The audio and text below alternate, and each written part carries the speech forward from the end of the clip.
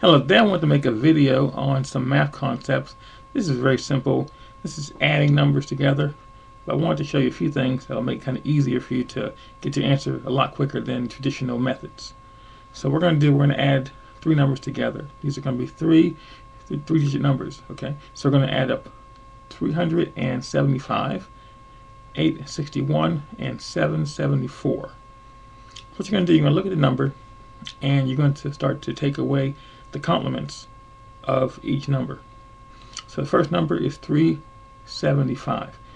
And the complement difference between that number and 400 would be 25. So you simply write down 25 or think it. Write it down if you want.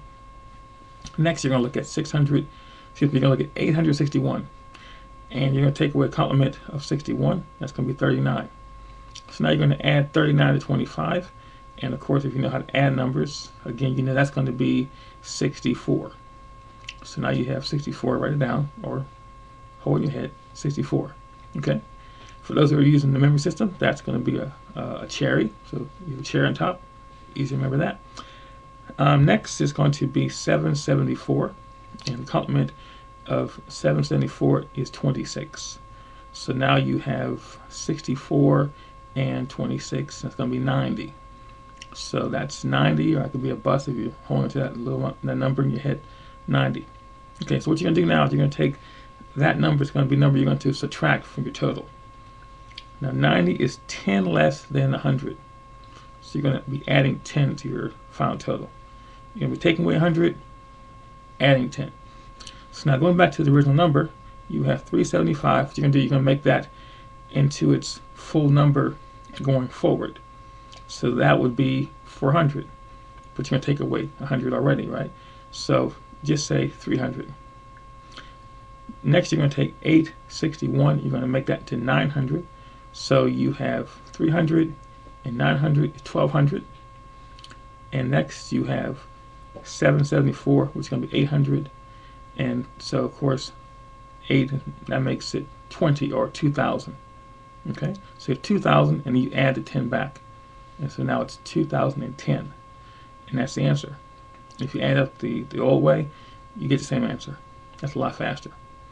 Now, look at another way of doing that. This time you're going to take the same number and you're going to do something a little bit different. You're going to take each number from the left and add the number up. Okay?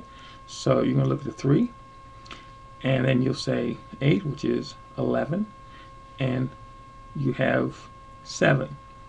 And that's going to be, now before you do that, I want you to think of something here. I want you to try to use a little bit of uh, intuition. When you see an 8 and 7, you know it's 15, and then 15 and 3 is 18. So that's very easy to see the answer is 18.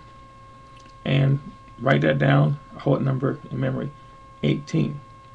Next, you're going to see the middle number is going to be a 7, a 6, and a 7. So of course that's 14 and 6 is 20. So now what you're going to do, you're going to add the 2 to the 18. So it's going to be 2, 0, and you have 0. So it's just 200 or 200.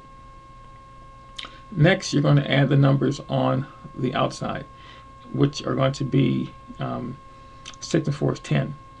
Okay? And so since you have a 10, you add that to the 0, and you have 2, 0, 1, 0, same answer. See how that works? So either way you do it, you're going to find that the answer is correct.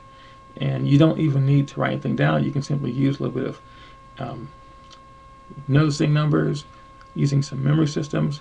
It's very easy to do. So want you practice that. Write down three-digit numbers, four, anything you want, but start with three.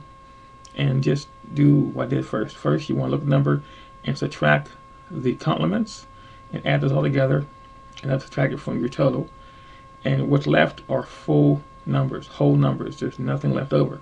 Take anything out. And then the second way is start from the left, add all three numbers together, and then you add next three numbers together and add the, the ones to your number on the left. Again, when you have a zero, you simply cover the zero. So if it was 200, you simply have 200, so then the last number was a 10, and boom, it covered it perfectly. Okay, so thanks for watching, and you have a great day.